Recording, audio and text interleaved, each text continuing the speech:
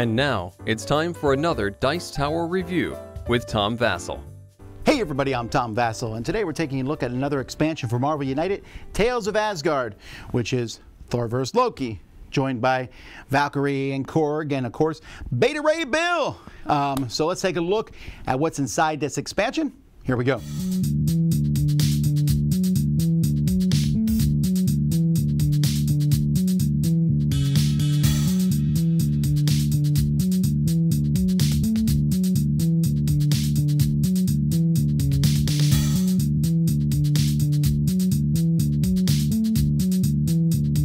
All right, so here you can see what you get. Four different characters in the game, along with Loki. And it also comes with some new locations here that you can play with. Uh, move heroes from any locations. You can move people to this location, which is good if the bad guy ends up there.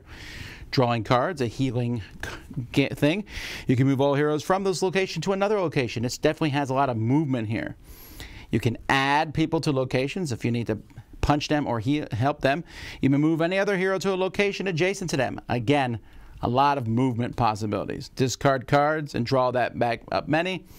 So hey, it's a good way to cycle through your deck. So that's interesting. I don't know if I like these as much as getting bonus tokens.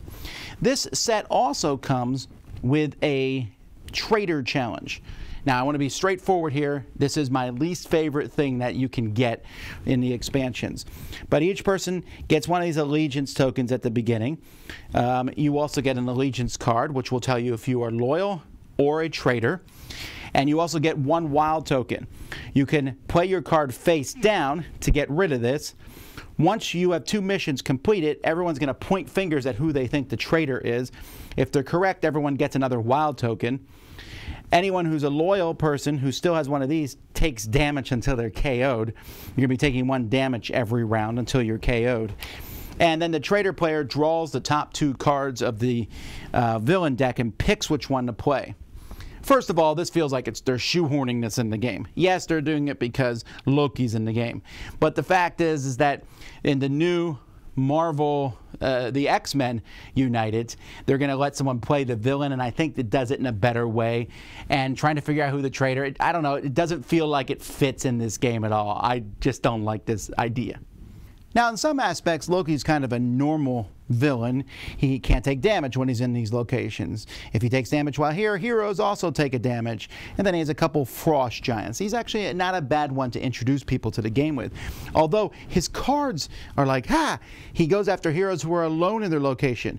And then he hits ones with heroes not alone. So you're never quite sure if you want to be alone or not alone going up against him. And also, his overflow adds to his health, I guess showing his frost giant heritage. So while he starts at 3, 5, or 7, if you don't kill him fast enough and there's overflow happening at all, and there very well could be since his cards, most of his cards are adding people to locations. So overflows are going to happen. I mean, look at that one, a 2-3-2. And so because of that, his health can go up considerably, making that once you eventually can do damage to him, uh, he's pretty tough. So interesting thing about the heroes that come in this expansion, all three heroes have special cards and all their cards are the same. So if you see the top one, you're seeing them all. Thor can really wail on a single enemy, which is good if you're playing someone with single enemies.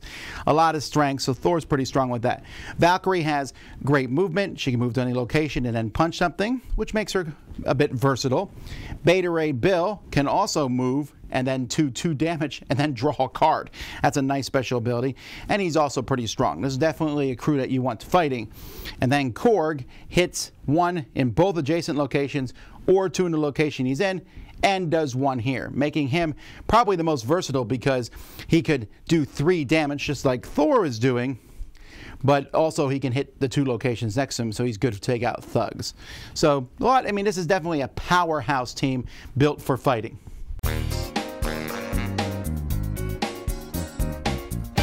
Now, like I said, I think the traitor thing is, uh, I mean, I have so many social deduction games out there, so many cooperative games with traitors in. I don't need them in this game at all. You can play, like I said, they're, they're introducing letting the villains play against characters in the X-Men United. If you want to play with it, go for it, but I wouldn't get this expansion for that. You're getting this expansion because you want the characters. You want the locations of Asgard, and you know, they're, they're, this is not bad. In fact, this is a pretty good set to play if you're first getting the, into the game, right? You get Marvel United. Hey, do you like Thor? Do you like Loki? And then you want to get this set to bring them in. Loki's a very straightforward, a lot of interesting things that he does as a villain. And these all people are, you only have one special card for each one. I mean, there's three copies of it, and they're all pretty strong. They work well against Loki. It's a good mix, I think. So, you know, if you're first getting into the game and you're not sure what to get, this is one I would promote, especially if you like the characters in here. It's not like mind blowing, it's not one of my favorite expansions, but I think it's pretty solid. So that's Marvel United Tales of Asgard. Dice Tower Judgment approved.